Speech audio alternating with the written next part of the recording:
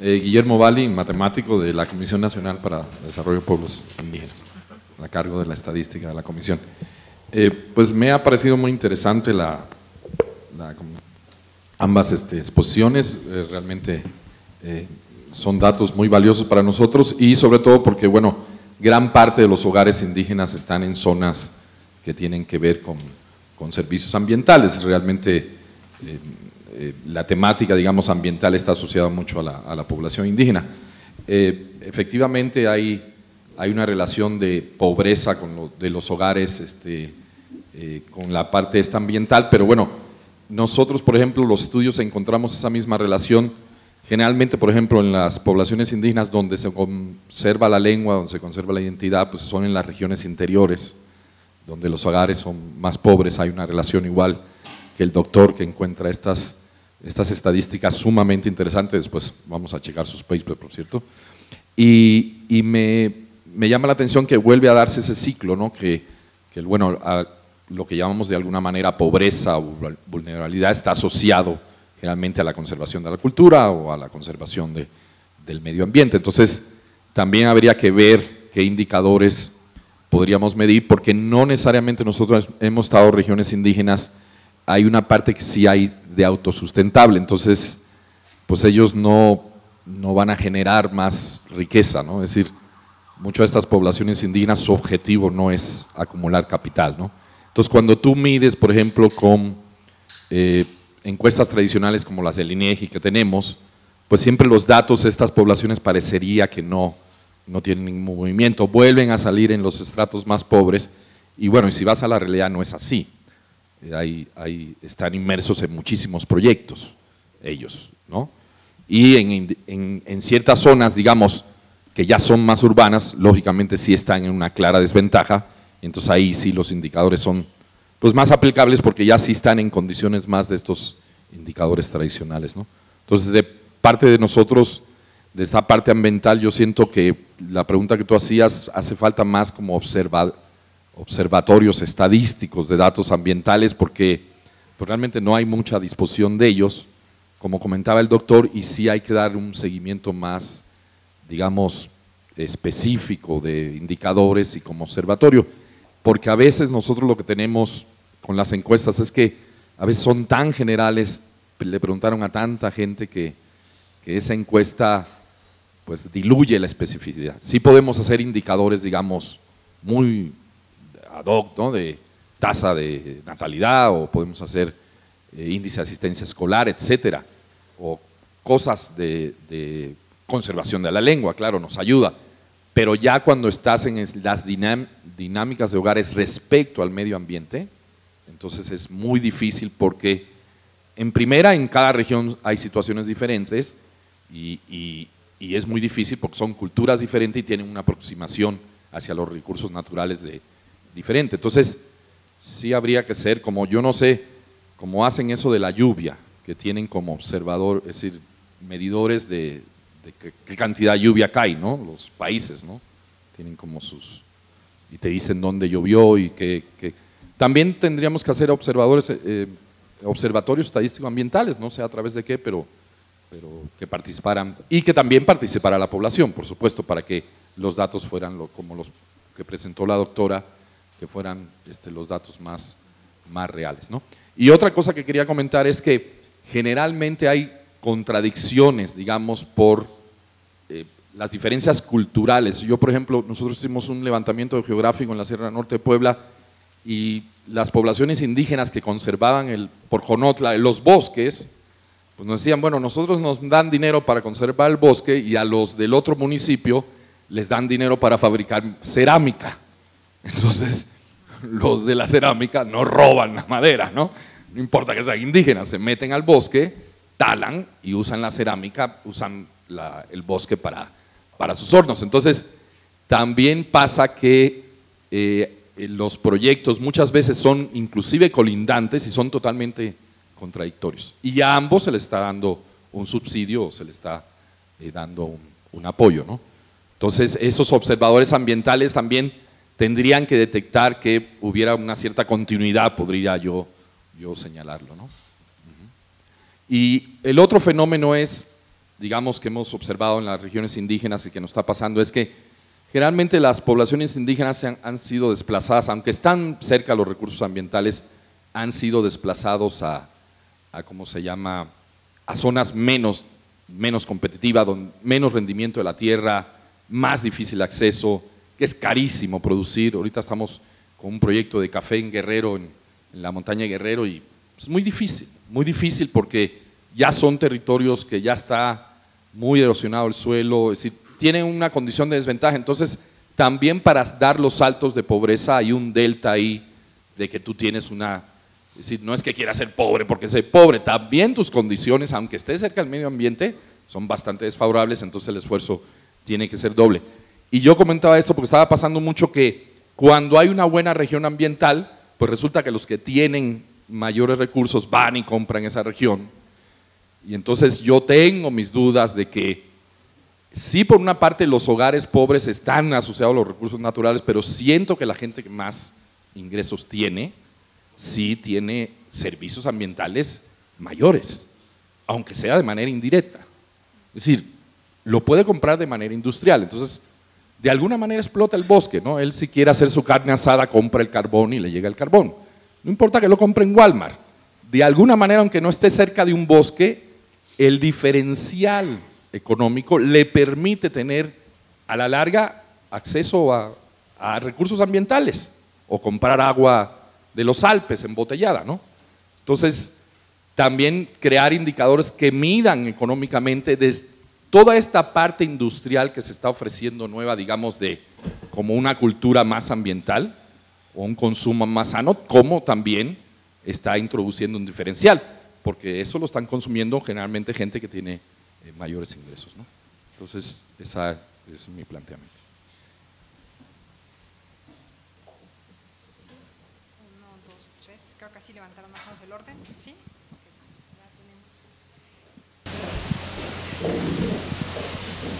¿Podrían decir su nombre e institución, por favor? Eh, Raúl Lullando, soy de la Universidad de Nuevo León. Eh, a mí lo que me llama la atención desde las dos conferencias anteriores es que cuando tratan las cuestiones sociales, meten la educación. ¿La educación desde qué punto de vista? Porque se podría decir sobre mayor conocimiento. Entonces están suponiendo que mayor conocimiento va a tener menos repercusiones sobre el medio ambiente. Cuando yo estaría más de acuerdo con lo que acaba de decir la, doctora que ahorita expuso, una variable que desde la otra vez la, propuse, pero que suena raro, pero ahorita ya la propuso ya también, la conciencia.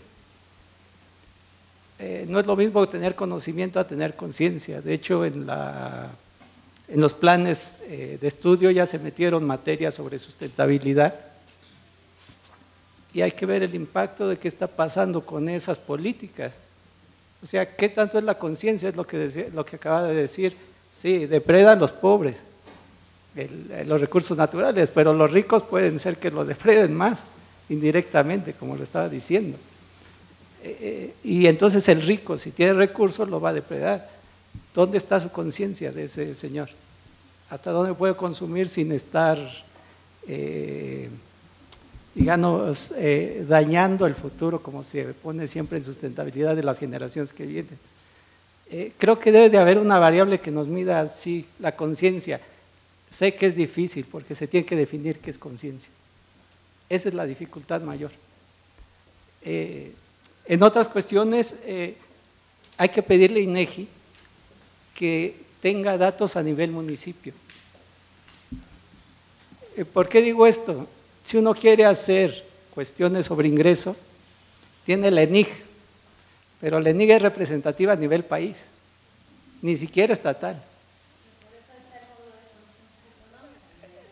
No, sí, pero en, para los años anteriores... Si quieres ahorita que te toque, porque si no, no, llegamos. Sí, sí, ahí va. Sí, hay, hay años donde casi es imposible. Entonces, me imagino que ahorita ya está retomando eso, no he visto las últimas encuestas, me imagino que ya retomó un poco esto, pero si uno quiere ver a nivel municipal, ahorita estoy haciendo un estudio sobre la contaminación del río San Juan, en Nuevo León. ¿Qué afectó? Ejidos. ¿Dónde entró el petróleo? En ejidos. En la, por donde los, la, la, gente de los ejidos capta el agua del río. Bueno, para tener datos del ejido San Juan, pues solamente el censo. Y del censo solamente ciertas cuestiones, porque si quiero cuestiones laborales, hay un módulo específico, pero que no trae mucho. Entonces, ¿cómo puedo ver el cambio de lo que sucedió antes, de que contaminaran con lo que sucede ahora? Sí, un poco esto.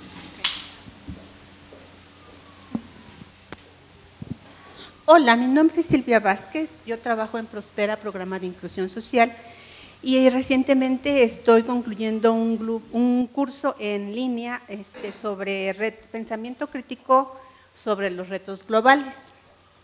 Estos diferentes aunado a la eh, presentación que tuvimos en la mañana sobre los aspectos conceptuales van a orientar mis, mis ideas, mi intervención. Eh, yo partiría del último tema que tú planteaste en el término de las dimensiones que deben de tener los instrumentos, porque me parece que es el punto de partida, no, no tanto eh, centrarnos en el debate conceptual solo porque sí. Siempre parto de la idea de que si necesitamos información, tenemos primero que pensar para qué la vamos a querer, ¿no? porque si no nos podemos perder en, en el buscarla y en el construir cosas que realmente no nos sirvan. Entonces, en ese sentido, mi primera preocupación es que a mí me llama mucho la atención que el evento se centre en la cuestión del cambio climático, cuando en realidad el desafío es el cambio global, donde está comprendido el cambio climático. Cuando se habla de eh, cambio global, se está hablando de cambio climático aunado a todas las alteraciones que existen en el, funcionamiento del sistema Tierra. ¿no? Entonces ahí puede haber alteraciones a los ecosistemas que son más locales y que no necesariamente van a estar inmediatamente relacionadas con ese cambio climático. ¿no? Eh, otro punto es que, bueno, dado mi, situación en lo que yo trabajo, eh, tenemos que considerar los millones de mexicanos pobres que tenemos. ¿no? Entonces es una condición con la cual tenemos que estar pensando estas interrogantes que sirven para este taller, para discutirlas. Eh, entonces, en ese sentido, me parece que, si bien es cierto que las comunidades rurales son las que tienen una vinculación diferente con el medio ambiente, no podemos excluir a las comunidades, a los hogares urbanos, dado que tienen otra forma de relacionarse con este ambiente. Eh, eh, Decían en la conferencia de la mañana que em, la propuesta que tiene Brian es sobre pensar en escenarios. Eh, a mí me pareció muy interesante escuchar lo que decían nuestros ponentes porque a mí me hacía pensar en términos de estas preguntas y sus posibles respuestas que un aspecto muy fundamental es caracterizar las vinculaciones que se establecen entre la población y el medio ambiente, teniendo al hogar como un punto de referencia. Y entonces en ese sentido me parece que podríamos pensar un poquito en una especie de tipologías o escenarios, primero en este aspecto conceptual para irlo aterrizando en, en dimensiones, en instrumentos, en información que se requiera. ¿no? Y bueno, mencionaban algo de la cuestión del ingreso per cápita según eh, el uso de los recursos naturales. Eh, me parece que eso es importante para cierto tipo de hogares, para cierto tipo de este, comunidades. La vinculación, el aspecto menos instrumental con el ambiente también es otro aspecto muy importante, que tenía que ver con lo que decían de los usos y costumbres, la cosmovisión, este, etcétera. Eh, desde ciertas perspectivas, la cuestión de la adaptación tiene que ver con la educación y con las redes intercomunitarias que se puedan establecer. Yo nada más estoy mencionando todos los puntos que a mí me parece que como dimensiones tienen que estar presentes en esta generación de información o en la identificación de lo que ya existe. ¿no? Este, esta cuestión de la dependibilidad del ambiente es que hay que definirla. Para las comunidades rurales es en un tipo, pero para las grandes poblaciones urbanas es de otro tipo y no somos tan conscientes de ello. ¿Por qué? Pues porque somos consumidores de aire, que no pagamos, y somos consumidores de agua y desperdiciamos muchos recursos. Entonces ahí hay toda una serie de elementos que ir afinando dependiendo de qué tipo de hogar estemos hablando. ¿no? Entonces estas ideas a mí me parece que sí hay que tenerlas presentes como para ir definiendo eso. Eh, me acuerdo que leí algo sobre la huella ambiental, que es esta necesidad de recursos que tenemos para satisfacer nuestras necesidades, bienes y servicios. Y la huella ambiental de los hogares urbanos puede ser muy grande sin que seamos conscientes de la dependencia que tenemos con el ambiente. ¿no? Este, eh, entonces, bueno, eso, sería una serie de ideas que me parece que tendríamos que estar eh, puntualizando, precisando para identificar este, la, información, la información que se requiere porque bueno, si bien es cierto que necesitamos información, datos, instrumentos, el para qué lo queremos también es fundamental. No solo es la cuestión del impacto, del riesgo, también creo que tendríamos que ir pensando qué información necesitaríamos para fortalecer la cuestión de la reducción de los riesgos e incrementar la adaptación al cambio. Es decir, a mí me parece que si bien necesitamos ir eh, haciendo diagnósticos más precisos, sobre la marcha tenemos que ir ya implementando medidas de compensación o medidas de atención, porque no podemos esperar a tener ya un diagnóstico más preciso cuando ya sabemos que el tiempo nos está ganando. ¿no? Eso es todo. Gracias. Gracias. Alejandra. Bueno, Alexandra Boyer, del INEGI. Yo tenía un comentario para Alejandro. Su estudio se me antoja un montón para el módulo de condiciones socioeconómicas. Hay eh, una, a todos los hogares que entrevistamos, que son 64 mil a nivel nacional, les levantamos un cuestionario sobre negocio en el hogar. Están tanto los negocios no agropecuarios como los negocios agropecuarios.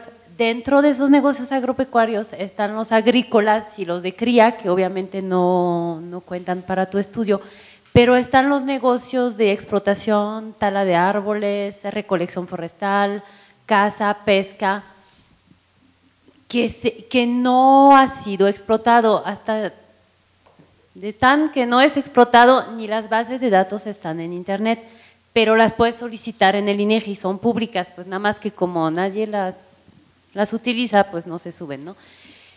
No es una encuesta de panel, pero tienes la ventaja que es una encuesta que tienes cada dos años y que aparte le puedes correr ahí la línea de pobreza oficial de Coneval y puedes hacer como cruces, no sé, a ver si realmente esos hogares son pobres, no son pobres, no sé. Y tienes todas las características de la vivienda, todas las características sociodemográficas y todos los otros eh, ingresos del hogar.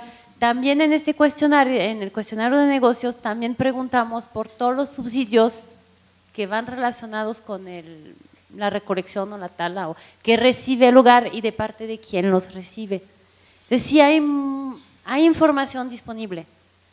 Nada más es ver, el cuestionario está en internet desde hace mucho tiempo porque de hecho antes tienes los cuestionarios de la ENIG, antes de 2008, nada más que si la muestra es, es un poquito más chica. Entonces, checa los cuestionarios a ver si, porque hay muchísima información. Y si necesita la base de datos, solicitándola en al INEGI, se te se proporciona. Y una encuesta a nivel municipal, creo que no hay recursos ni económicos ni humanos que alcancen ese tamaño de muestra. Porque estamos hablando más o menos para una encuesta a nivel nacional se necesita entre 60 y 64 mil viviendas. Entonces a nivel municipal es un censo. Y pues ningún usuario está dispuesto a pagar una encuesta como si fuera un censo. Ok. Voy a nada más recordar dos cositas, ¿no? Una es efectivamente una buena parte de lo que el taller implica es identificar qué es lo que tenemos, qué es lo que nos falta. Entonces es útil como pensar desde donde nosotros lo que hemos estado utilizando, qué es lo que pensamos que puede sacársele más provecho y también identificar, digamos, en qué medida como lo que está eh, necesitamos, digamos, quizás precisar algunas de las preguntas, cambiarlas, hacerlas en función de lo que estamos pensando. ¿no? La segunda cosa es, efectivamente, una parte de la pregunta tiene que ver con para qué, y justamente el para qué es por lo que cada uno de nosotros traemos a la mesa, ¿no? porque no existe un para qué unívoco, es decir, lo que yo trabajo de investigación es distinto a lo que él puede estar trabajando o lo que ella le interesa, sino que lo que creo que lo que el taller está buscando es identificar justamente las necesidades desde cada una de las áreas donde estamos viniendo para tratar de encontrar quizás algunas áreas en común y tratar de identificar, bueno, cuáles son esas áreas que quizás podrían servir a más de un usuario. Entendemos, digamos, que es imposible que, el, el, INEGI vaya a levantar una encuesta para cada uno de nosotros, ¿no? Es imposible que haga eso y financieramente es insostenible, pero quizás podríamos llegar a encontrar algunas áreas comunes y preguntas comunes que podrían servirnos a muchos de nosotros para distintos usos, ¿no? pensando con distinto tipo de proyecto y no solo a nosotros como, como si fuéramos investigadores o intereses particulares, sino más bien pensando en cuáles son los problemas y el tipo de políticas y el tipo de temas que están sobre la agenda y que por lo tanto entonces podrían ser de utilidad, digamos, común. ¿no? Entonces, un poco ese es el espíritu en términos de decir, bueno, desde donde yo estoy, estos serían los temas y esto, esto sería lo que yo estaría necesitando, ¿no? y estos son donde yo creo que deberíamos estar moviéndonos y estas son las agendas. Un poco lo que hicieron Alejandro y María y lo que han hecho ustedes sus intervenciones es decirnos esto es lo que yo pienso que deberíamos estar haciendo, estos son los ejes, para justamente ir en común identificando cuáles son esos traslapes que tenemos. ¿no? Un poco ese es el espíritu de lo que estamos haciendo y pensar, digamos, también justamente decir, bueno, estos son los instrumentos con los cuales contamos, hasta dónde alcanzan para algunas de las cosas que estamos pensando, hasta dónde no alcanzan, hasta dónde es realista pensar en otro tipo de instrumentos, hasta dónde en realidad no da, o hasta dónde podemos suplantarlo con otro tipo de fuentes indirectas, ¿no? Por ejemplo, o metodologías indirectas, por ejemplo, hay metodologías que combinan información de encuesta con informaciones censales y extrapolan información, ese tipo de estrategias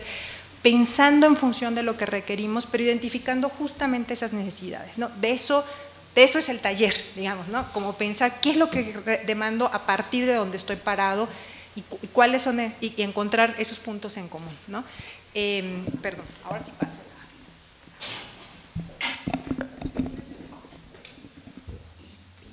Buenas tardes. Eh, soy Luis Alberto Rodríguez, eh, vengo de la Coordinación de Asesores de la Secretaría de Desarrollo Social. Y bueno, ah, sumando a la, mesa, eh, este seminario en, general está enfocado también hacia la información para la toma de decisiones.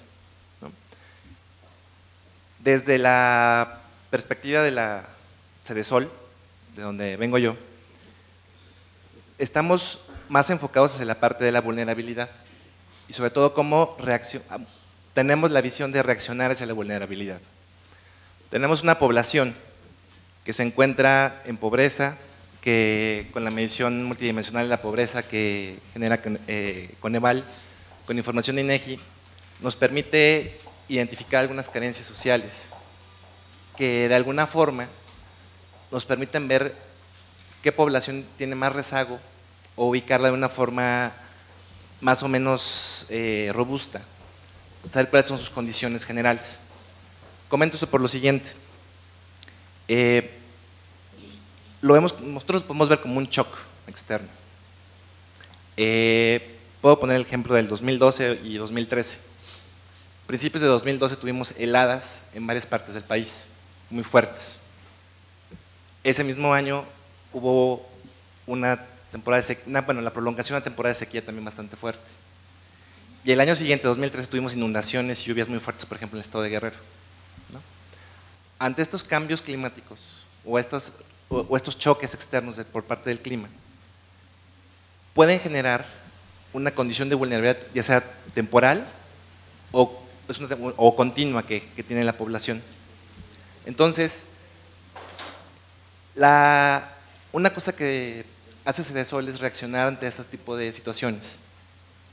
Entonces, tenemos que aprovechar la información que tenemos y también como reaccionar a desarrollar algún tipo de, implementación de algún tipo de política, sobre todo de reacción. Y por eso mencionaba la parte de la medición multidimensional de pobreza con las carencias sociales. Y sobre todo la parte de la carencia, sobre todo de calidad de espacios en la vivienda, que nos permite conocer, por ejemplo, cuáles viviendas tienen eh, piso de tierra, materiales de desecho de construcción de paredes y techos, o hacinamiento además, lo cual nos permite llegar a una aproximación de decir, bueno, es más probable que una familia o un hogar que se encuentre con una vivienda vulnerable a través de carencia de, calidad de espacios de la vivienda, ante un choque externo, pueda ya sea mantener su condición de pobreza o caer en pobreza, sobre todo por la parte de ingreso. Y ante este choque externo, puede ser una causal de permanencia en ese estado. Entonces, un, ejemplo que, podemos dar es este año 2012 y 2013 fue una reacción. En 2012 la primera reacción fue, bueno, vamos a llevar ese alimento, pero ¿a quién y en dónde? Y ahí fue donde empieza el tema de decir, bueno, ¿a dónde vamos? y ahí fue donde tuvimos que reaccionar y decir, bueno, ¿cómo podemos saber en qué lugar va a ser más frío? Nos acercamos a Conagua, a la cuestión de clima, y bueno, te dicen una semana antes dónde va a nevar, ¿no? O, o, o hacer la helada y diferentes temas técnicos, ¿no? Donde va a ser más intenso. Pero tenemos que combinar tanto registros administrativos propios de nuestro padrón de beneficiarios, por ejemplo, junto con las mediciones de, de, Coneval y también con el censo. Hacemos una, una, un pool, digamos, de todos los indicadores que tenemos. Lo que nos permite es generar una especie como índice de, de discriminación, de decir dónde es más probable que ocurra un fenómeno que afecta a mayor, cantidad de personas y en ese sentido podemos intervenir con cierto grado de, robustez y, saber más o menos algún, sustento científico que te dice que es más probable que ocurra ahí. Cuando pasa también lo de las sequías, hicimos algo similar, pero acceso al agua. No, vienen ni los tipos, ni los montos, ni la calidad, porque si tiene acceso a agua dentro de la vivienda o alrededor de la vivienda. Entonces, igual, nos vamos a nuestros registros administrativos, el padrón de la sede Sol, checamos también la cuestión de acceso a agua, también registros administrativos con Conagua y demás. Y ahí es donde se determinan dónde vamos a poner, entonces fue como unos tinacos enormes de agua y está repartiendo agua con pipas, por ejemplo. Y después viene un tema un poco más coyuntural que viene, por ejemplo, posterior de la sequía, que fue en, 2012. Viene la reducción de la producción del, maíz, por ejemplo, en Sinaloa, y reducción de acceso a alimentos y aumento de precios en alimentos. Entonces, ahí viene una reacción de un subsidio, de decir, bueno, vamos a, incrementar los subsidios que se otorgan de transferencias monetarias a las familias que, tienen este, que más probablemente tienen este, este, efecto negativo, sobre todo los que están en deciles más bajos de ingreso. Pero un tema que también nos, lleva es de que somos, consumimos mucha información, sobre todo del INEGI, de CONAPO y, y otras, pero también la parte temporal nos, genera un, tema. Si vemos información del censo del 2010, por ejemplo, y estamos en 2015. Entonces, y por ejemplo, la encuesta intercensal del 2015, tengo entendido que no va a ser como el, conteo como tal, sino va a ser una muestra. Entonces, eso va a generar también un tema de, pues la verdad es ponerse creativos, de ver qué recursos, con qué recursos de información cuentas y cómo los puedes combinar. En este caso, por ejemplo, tenemos la información hasta, eh, hasta por cuadra, digamos, desde el 2010 en las áreas urbanas, de cuáles son los, indicadores del censo, por ejemplo, incluso hasta los mapas. Entonces combinamos eso con nuestras acciones en los padrones. Como está referenciado toda la, cuestión de la atención que tenemos, podemos decir, bueno, en el censo 2010, en esta localidad, en esta JEB, en esta colonia, en esta manzana, tenemos 100 personas que tienen eh, podemos decir que tienen carencia por servicios, eh, servicios de vivienda, por ejemplo. Entonces, bueno, nosotros tenemos en nuestra información de, registros administrativos, decir, bueno, les hemos eh, otorgado este, construcción de pisos firmes, patata, a tantas familias. Entonces tenemos, si bien no es una cuestión como de panel o saber exactamente qué cosa tiene cada uno, te puedes dar una idea, ¿no? tratar de focalizar las acciones para que tenga un mayor impacto, sobre todo donde, donde más se necesite. Entonces, eh, bueno, en, el sentido del seminario de decir, bueno, ¿cómo tomamos decisiones? Pues tomamos decisiones mezclando información. Y no necesariamente es la información más precisa, pero sí nos permite llegar a un punto de decir que podemos recolectar diferentes fuentes, y sobre todo con registros administrativos. La verdad, esa es una, una, fuente de información muy, muy amplia que tiene la, la CDSO, en este caso tenemos esa ventaja. Tenemos un padrón de casi 43 millones de personas y a, través del cuestionario único de información sociodemográfica, socioeconómica, perdón, eh, tengo entendido que son como 60 millones de registros. Y en algún momento, eh, seguramente la compañera de, de Prospera nos podría ampliar mejor ese tema, sí hay una, una segunda visita, digamos, o una tercera visita para, para poder verificar cómo, si sigue en condiciones de pobreza esta persona, o esta familia, o este grupo social. Entonces, eh, sí, difícilmente vamos a tener información específica para todo, ¿no? pero sí podemos, sobre todo con registros administrativos y ponernos creativos con diferentes indicadores, poder llegar a, atender a la población que tenemos como objetivo. Y en este caso, al menos desde la, la, la y el sector de desarrollo social, eh, yo, yo, siento como una mayor cercanía, digamos, o, o un mayor eh, eh, identificación con la ponencia de la doctora Cecilia Conde en la mañana, donde veía la parte como de vulnerabilidad, sensibilidad y capacidad adaptativa. ¿no? En este caso, por ejemplo, eh, si bien eh, en las zonas rurales tenemos una mayor incidencia de pobreza, un mayor porcentaje, la mayor cantidad de personas en pobreza está en zonas urbanas, en número, en masa. ¿no? Y entonces, cuando tenemos esta visión de, también de dispersión.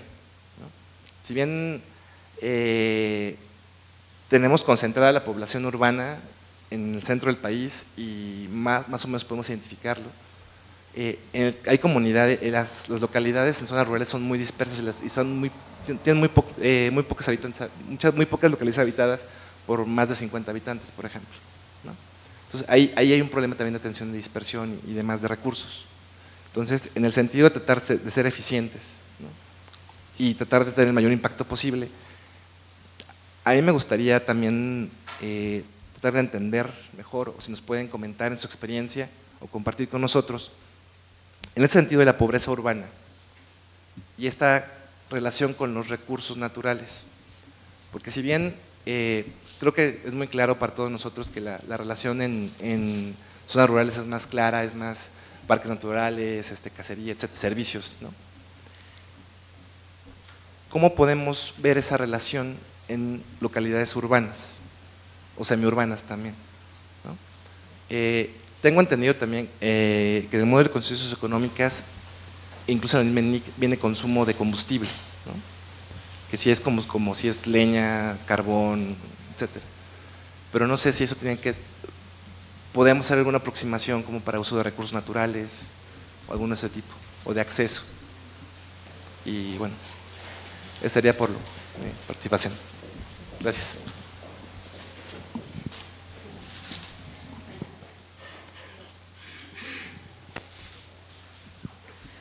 Buenas tardes, Patricia Fernández del CONAPO.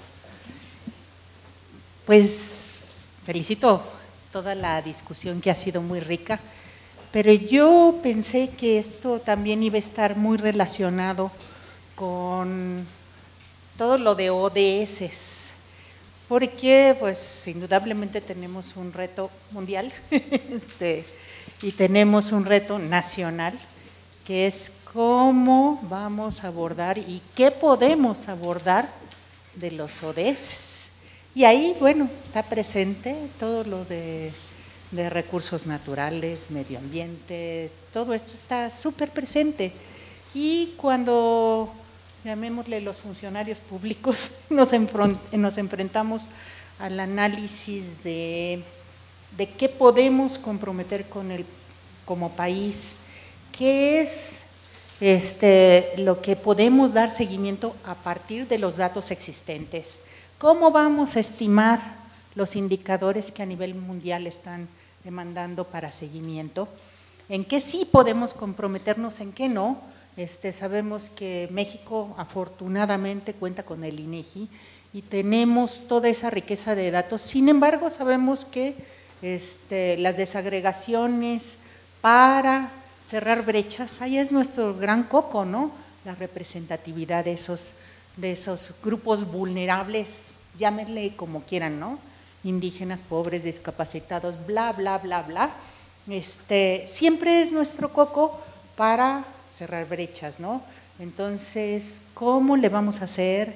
¿En qué nos podemos comprometer? Y en eso yo creo que pues un foro como este es, es este, muy propicio para ponernos a reflexionar o para que este, agarremos compromisos en donde digamos, bueno, hagamos otra reunión en donde analicemos los ODS. Particularmente, bueno, México tiene esos datos y yo creo que sí, al, hacer un primer examen, este, decimos, bueno, México tiene este indicador, pero ese indicador es suficiente para compararnos internacionalmente o no. Este, y en materia de población y medio ambiente es eh, realmente difícil porque sí se están poniendo, hay mucha demanda internacional porque hagamos esa liga. Y yo creo que todavía nuestras posibilidades no son tan fuertes. Particularmente también estamos pues teniendo que hacer, y qué, bueno que la tengamos que hacer, esta reflexión de si los viejitos y pobres que viven en las áreas rurales son más vulnerables y si las áreas rurales están envejeciendo, este, y esta, esta reflexión que sí nos lleva el cambio demográfico y este, la vulnerabilidad del medio ambiente y todo esto. Que siempre tengamos presente, y eso bueno ya se dijo, no, no, no es este, una reflexión particular, de que la población es el sujeto del desarrollo y el objeto del desarrollo, ¿no? Pero es una población no como número, es una población con cualidades, es una población dinámica, donde el envejecimiento, los jóvenes, los niños, tienen diferentes características y yo creo que es un momento que sí tendríamos que estar reflexionando porque además va a ser muy rico para México que podamos contribuir con, con esa reflexión de ODS y muy rico para, para los que estamos del lado de las políticas públicas que pudieran este, dentro de los perfiles académicos que están aquí, pudieran contribuir con eso.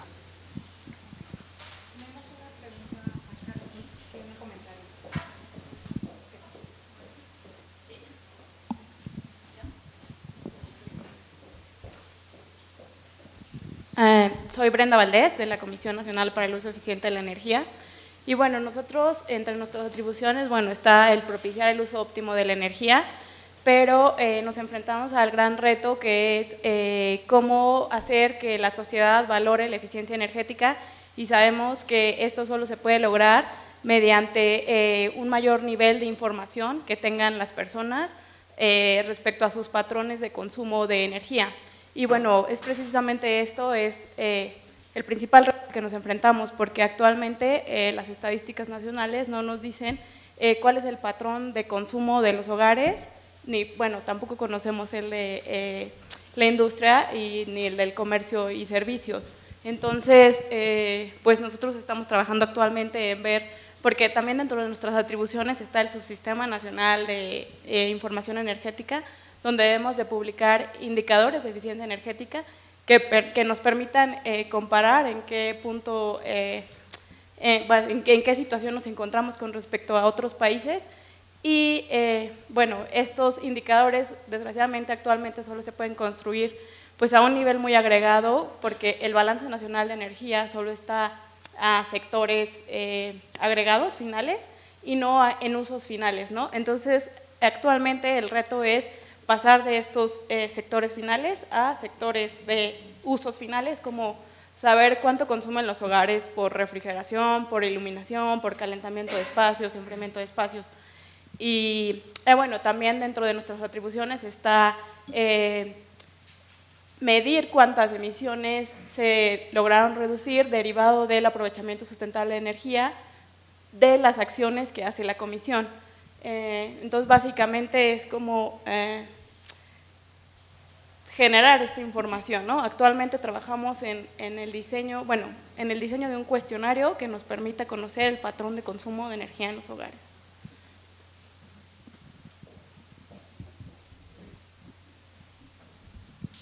Gracias. Buenas tardes. Soy Ricardo Zaragoza, vengo de la Dirección General de Análisis y Prospectiva de la Sede Sol. Yo tengo una pregunta para Alejandro López Feldman. Y bueno, mencionaste que tienes este, variables sociodemográficas en, en, las encuestas.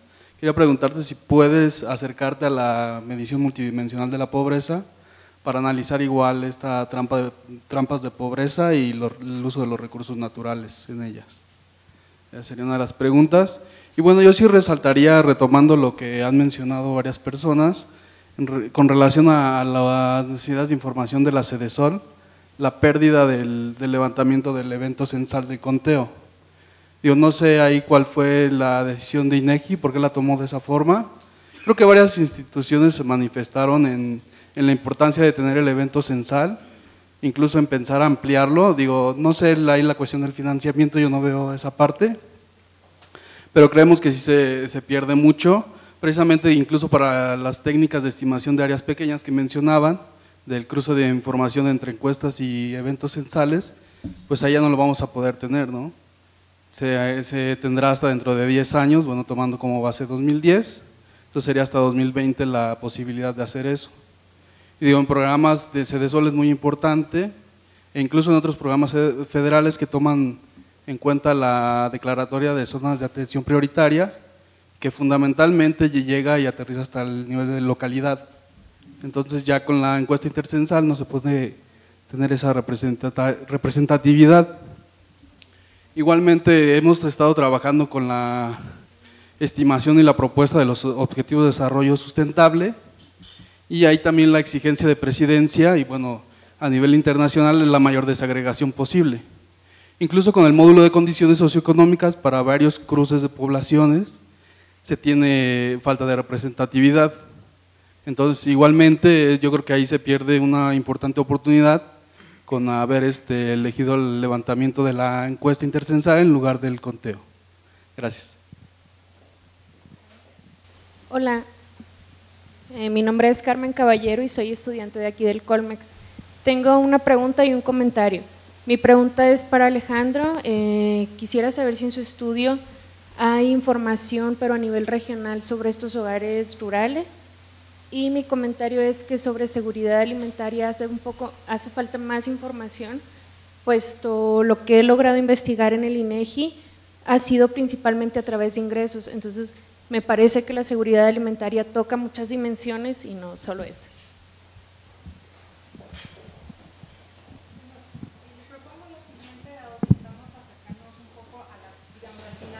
Primera parte del taller, ¿no? Y vamos a, vamos a continuar. voy a hacer las dos preguntas que están ahí, em, que, nos hicieron, eh, que nos llegaron a través de internet. Em, una es, eh, ¿podría una dieta mayoritariamente vegana apoyar la situación alimentaria y de explotación de recursos en grupos vulnerables? Creo que tiene que ver mucho con el tema de los patrones de alimentación. Eh, y en general el tema de usos de recursos naturales. Y por otro lado, hay una segunda pregunta que tiene que es de qué modo las prácticas industriales de explotación de recursos fomentan la vulnerabilidad y modo de vida en zonas urbanas. Em, pues son dos preguntas que nos hicieron llegar. Yo quisiera sugerir lo siguiente como, eh, digamos, un poco como esquema de trabajo, como para cerrar un poco lo que hemos estado hablando. Em, y es lo siguiente, lo que sugeriría es eh, darle la palabra a nuestros dos ponentes de la mañana, dado que recibieron varias preguntas explícitas y otras seguramente tendrán reacciones a lo que se mencionó eh, por distintas intervenciones eh, en, la, en, la mañana, en esta primera parte. Em, y luego lo que quisiera hacer es tratar de hacer yo una síntesis muy breve de algunos de los temas que me parece que aparecieron de manera reiterada en algunas de las intervenciones que ustedes hicieron, ¿no?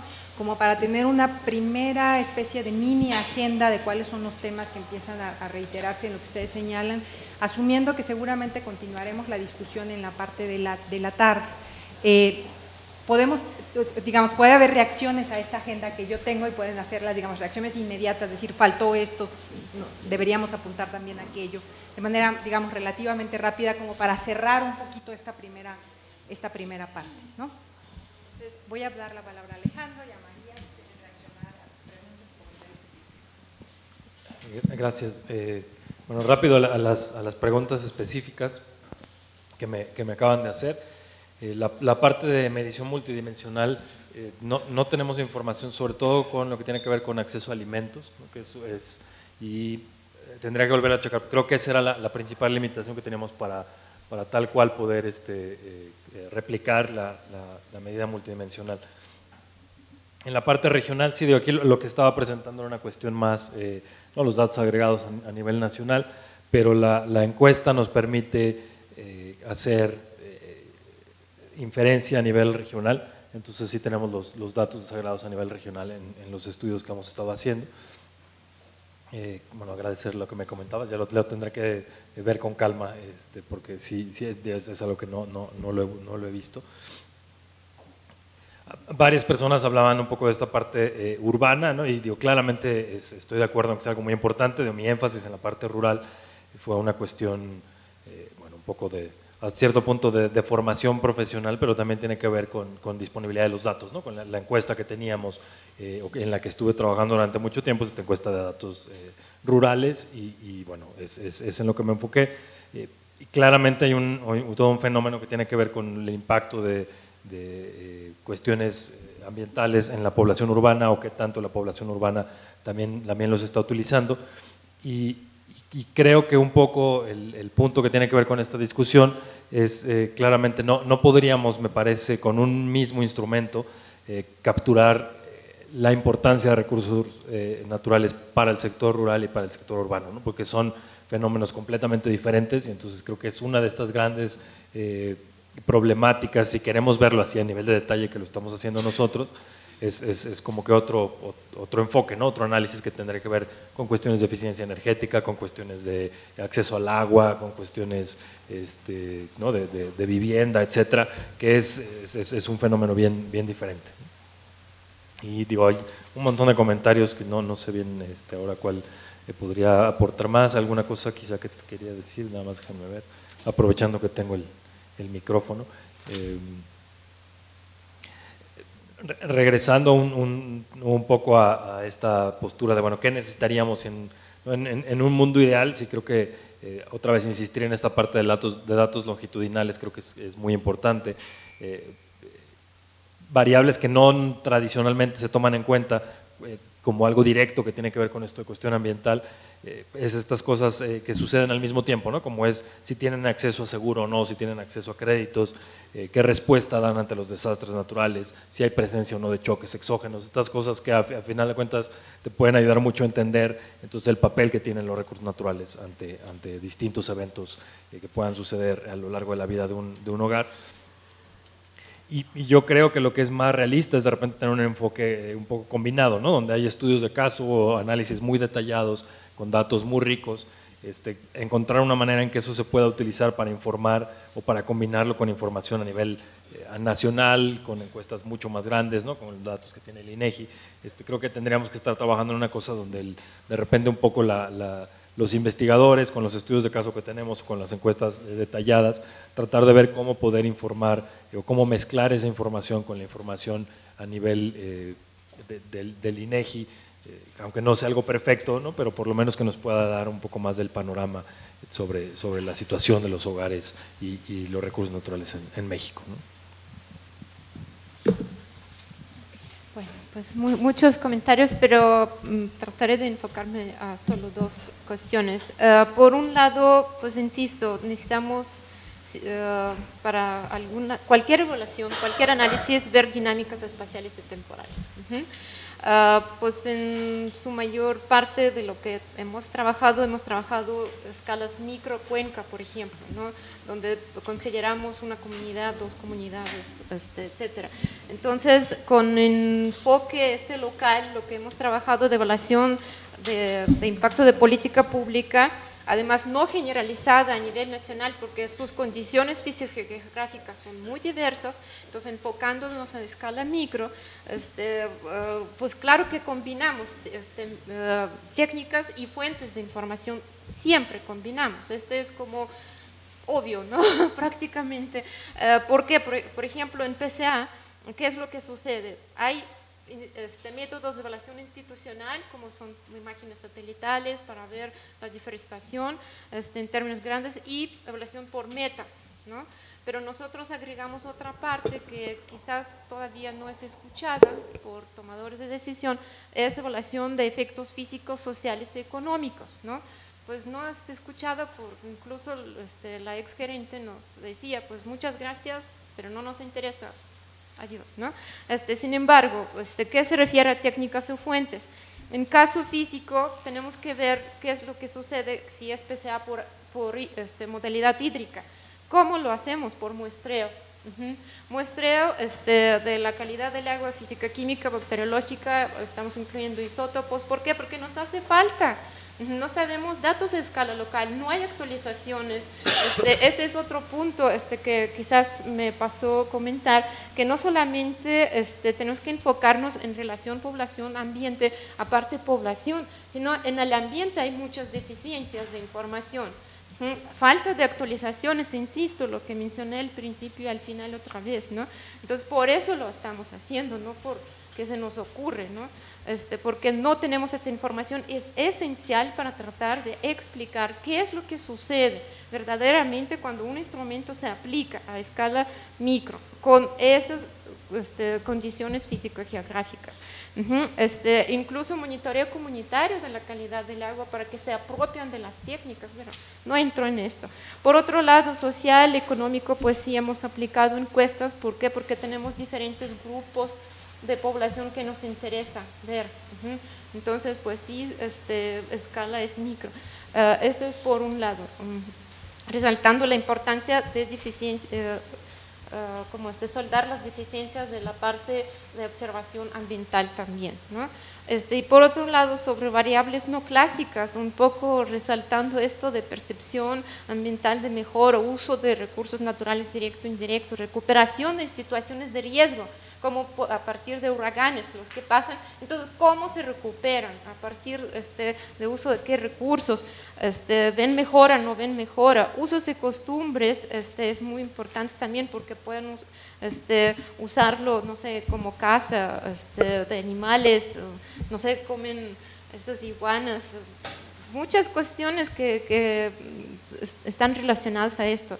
Redes internas y externas, esto es muy importante también, subsidios gubernamentales y por otro lado créditos y ahorros, lo que se comentaba. Esto es importante en caso de evaluación para, para, nosotros y hablando de, de, este tipo de escalas. Entonces, pues sí hay cuestiones que se resaltan eh, eh, en común en esta mesa de discusión, pero hay que puntualizar quizás, ¿no? Pero no olvidar que hay dos partes, y hay social pero, este, económica, pero por otro lado hay este, ambiental, ¿no? Y para ver un efecto, cualquier efecto que uno necesita, necesitamos actualizaciones espaciales temporales.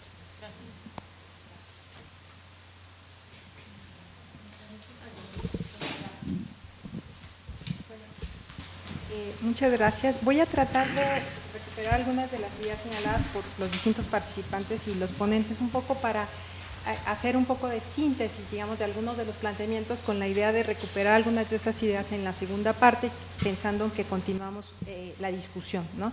Em, me parece que hay varios temas en común de lo que, de lo que han señalado. Em, no, no, sé si voy a ser capaz de hacerlo en orden, pero me parece que uno de los temas que, aparece en términos de los datos tiene que ver eh, con esta noción eh, que apuntaba María al final acerca de que, bueno, este es un ámbito inherentemente interdisciplinario, ¿no?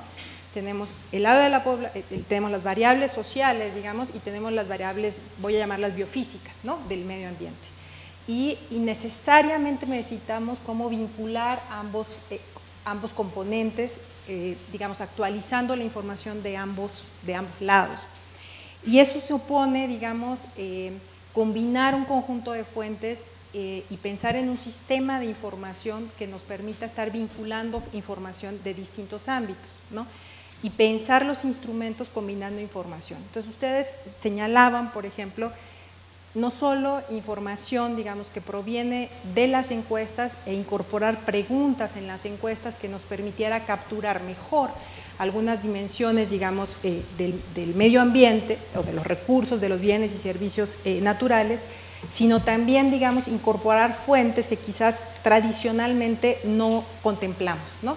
desde eh, fuentes como mediciones de imágenes satelitales este, o, por ejemplo, registros administrativos que señalaban anteriormente pero quizás también implica repensar algunos de esos registros administrativos. Por ejemplo, valdría la pena incorporar, eh, digamos, incorporar en alguno de esos registros administrativos alguna pregunta que no tenga solamente que ver con la característica socioeconómica, sociodemográfica, sino con la exposición a riesgos ambientales o eh, digamos, o eh, a recursos naturales en sí mismos. ¿no? ¿En qué medida podemos incorporar a ese registro administrativo en sí mismo alguna de esas cosas? Entonces, quizás una primera tarea de la que ustedes apuntaban es que en conjunto pudiéramos concretar, digamos, una especie de censo, voy a decirlo de alguna manera, de ese tipo de fuentes con las cuales ya contamos y con las a las cuales podríamos quizás modificar mínimamente para tener una información un poco más cabal y ampliar el espectro de, las, de las cosas que podemos evaluar con ellas. Por ejemplo, las, eh, las evaluaciones de los mismos programas antipobreza en México, en qué medida con una o dos preguntas adicionales podríamos potenciar enormemente la capacidad de esos registros administrativos. ¿no?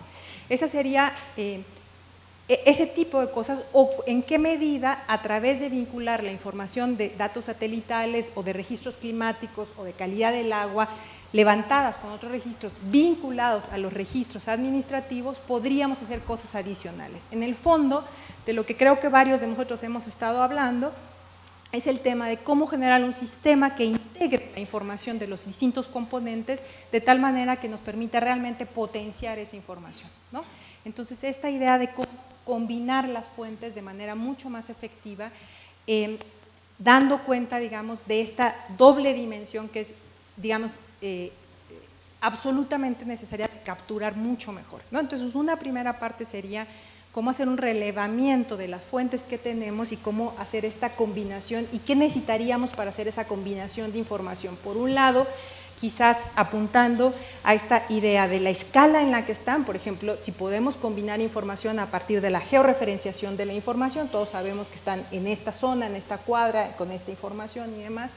Y por otro lado, digamos, eh, bueno, apuntando también a las necesidades, por ejemplo, de la eh, confidencialidad de los datos y demás. ¿Qué necesitaríamos para construir ese sistema? Sería quizás una tarea hacer y que está dentro de las funciones del INEGI. ¿no? El INEGI tiene como una de las funciones generar sistemas de información nacional y entonces, ¿cómo podríamos comenzar a pensar en eso? ¿no?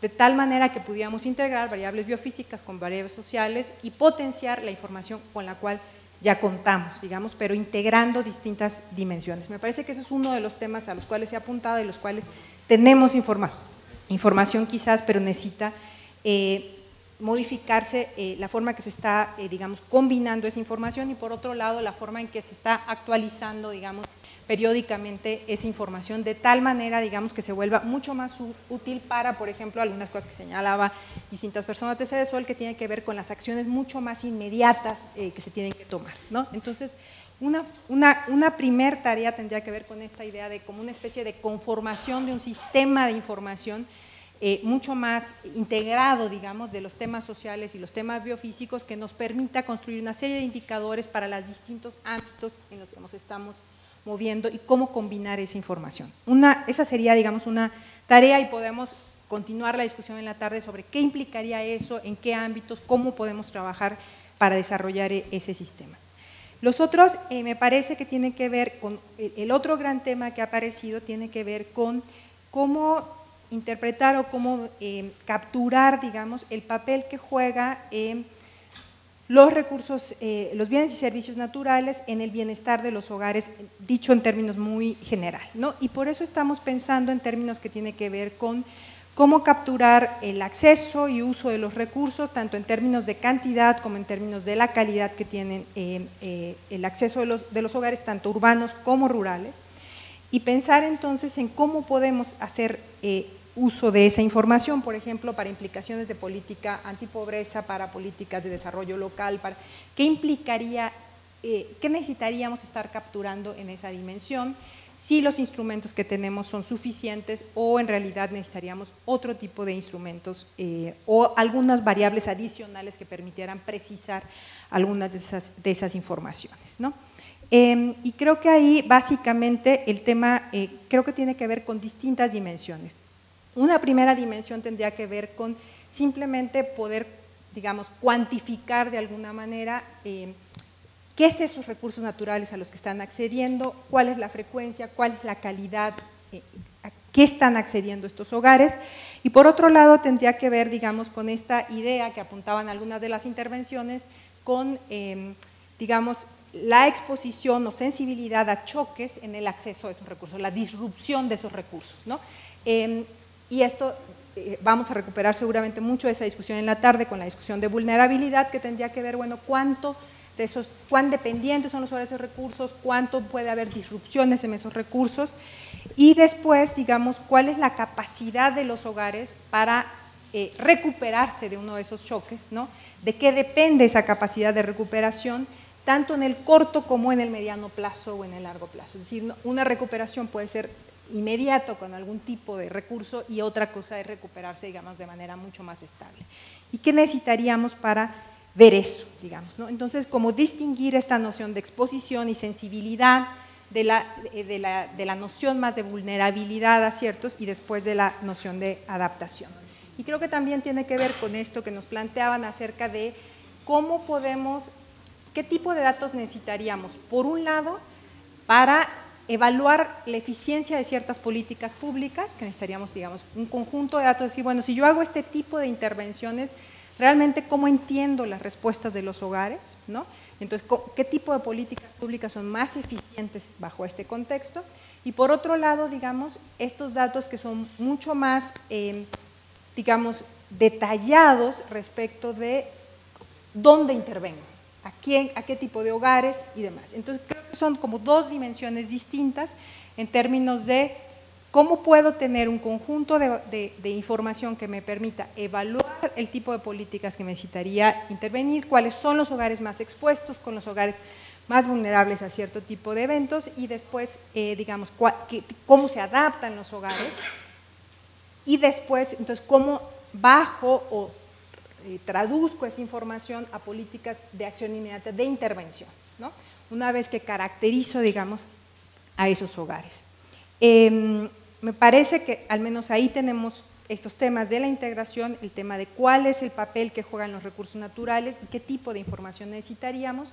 Y el tercer conjunto de temas me parece tienen que ver con temas de consumo de los hogares, qué están consumiendo, qué están haciendo, en, qué ámbitos están haciendo, con qué frecuencia, cómo, cómo, están utilizando esos recursos, no tanto en el sentido de su bienestar, sino en términos del impacto que los hogares están teniendo en el, en el medio ambiente. Eh, y, por otro lado, este tema de la relación entre percepciones y práctica ambiental. ¿no? Es decir, también hay una literatura muy amplia que es la brecha entre la declaración de la percepción y la práctica ambiental, pero también esta noción acerca de cómo recuperar, digamos, cómo se percibe el, medio ambiente, cómo se perciben las, eh, las, condiciones ambientales y por otro lado también eh, qué es lo que están haciendo los hogares y puede ser medido, digamos, a través de un conjunto de prácticas ambientales, de consumo, eh, de uso de los recursos naturales. Entonces, tenemos como estos grandes temas y creo que podríamos dejar también para la tarde algunos temas muy precisos que acá se han discutido, como la escala en lo que estos estudios deben estar, el tipo de muestreo que requerirían ese tipo de estudios, el tipo de instrumentos, si tendría que ser un estudio de panel longitudinal, también un poco a discutir en función de lo que nos presentan en la tarde la gente del INEGI, que, que nos presentarán, digamos, eh, el tipo de, dónde se ha desarrollado las estadísticas ambientales que tienen, y además tendremos una presentación sobre el ENIC en específico. Em, yo ahí pararía eh, con estos temas, a reserva de lo que ustedes quisieran añadir, si creen que hay algún otro tema adicional que se haya mencionado y que valdría la pena recuperar. Para la chica que habló sobre eléctrica, que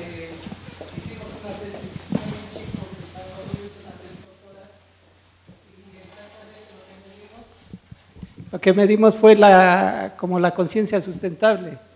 Y había preguntas muy directas, o sea, conoce que la electricidad es el principal factor para el cambio climático, eh, sabía que Nuevo León no produce toda la energía que, que requiere, sino está contaminando otros estados. O sea, preguntas en ese sentido para saber si, o preguntas tan sencillas como decir, ¿sabía usted que la electricidad está subsidiada? O sea, y lo que encontramos en términos muy generales es que lo que impactaba más era el ingreso, no la educación. Entonces, nada más. Era un comentario. No sé si alguien más quisiera añadir algo más. Creo que tenemos el tema, perdón, eh, de los indicadores de, los ODS, eh, que creo que podríamos también recuperarlo en términos de los indicadores puntuales eh, que necesitaríamos construir, digamos, cómo, cómo recuperaríamos alguna de estas información para las necesidades específicas de información que tenemos y en particular los indicadores de seguimiento eh, por ejemplo, los ODS que, que, podríamos pensar, digamos, están muy, marcados algunos de ellos. Este, eso creo que era el otro tema que varios de ustedes ¿no? Estamos todos hambrientos. Este, entonces, sí. sí. Yo quería hacer un comentario. Eh, bueno, me parece que buena parte de los usuarios de la información estadística y geográfica son las propias instituciones. Entonces, en ese sentido creo que ahí podría existir un área de oportunidad interesante en el sentido de poder establecer mecanismos que permitan de alguna manera compartir o enriquecer la información que de por sí las instituciones ya están levantando o están generando porque son parte de los insumos que utilizan para cada uno de sus programas. Entonces creo que esa parte también, eh, digo, podríamos eh, dejarla para la sesión de la tarde en términos de ver qué áreas de oportunidad existen ¿no? para poder generar información mucho más completa, oportuna y que sea útil para, para los fines ¿no? de cada una de las instituciones.